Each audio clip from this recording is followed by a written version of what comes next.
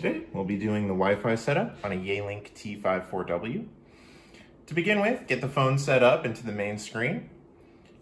As you can see, we're already set up and ready to go, so we'll press Menu, scroll down to Basic, scroll down to Option 8 Wi-Fi, click OK.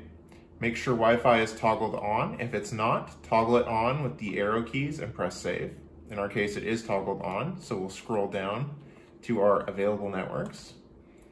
We'll scroll through the list of networks and we'll pick the one we want to connect to and we'll press connect. We will enter the password.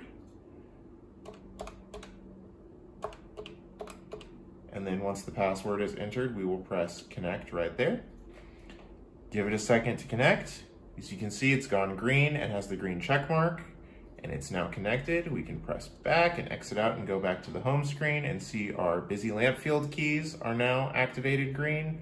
Park is green, our account is green, everything is green, the phone is ready to make a call or receive a call off the Wi-Fi network. And that is how you do the Wi-Fi setup on a Yealink T54W.